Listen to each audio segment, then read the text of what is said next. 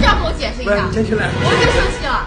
小杨哥带货高洁丝卫生巾，一不小心爆出惊天秘密，小杨哥这下怕是跳进黄河也洗不清了。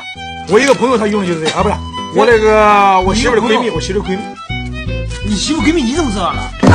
我去他家，我看他放在沙发上，我看到了。你没事你去媳妇闺蜜家。我媳妇，我跟我媳妇一起去我闺蜜家吃饭，我发现她的这个卫生巾。你没事你去发现她卫生巾里面，不是不是有问题。